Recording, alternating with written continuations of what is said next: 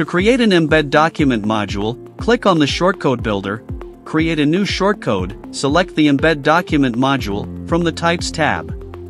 Now you will be redirected to the sources tab. Here you need to select your files and folders from your linked Google Drive. Click Next. Now you will be stepped to the Excludes tab, where you can customize every document that you want to exclude. Click Next.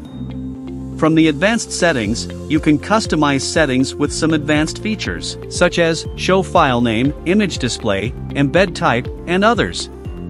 Click Next. Now you will be taken to the Permission tab. Here you will mostly work on permission-related tasks for your Embed Documents module.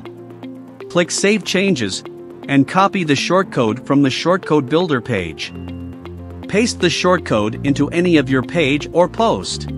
This is how the embed document module will look like.